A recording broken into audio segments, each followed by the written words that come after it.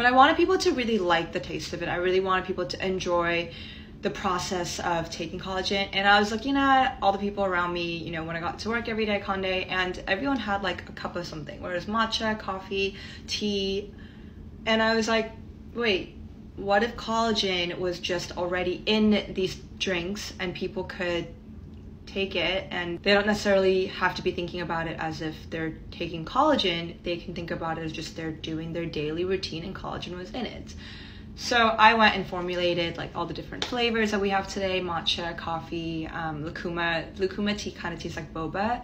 Um, it's our non-caffeine option, and it can also go into anything you make, like smoothies, even soups, water, everything. But yeah, so that was in that was in 2018 when I officially like launched it. So it's been about five years, which is really crazy. We've had lots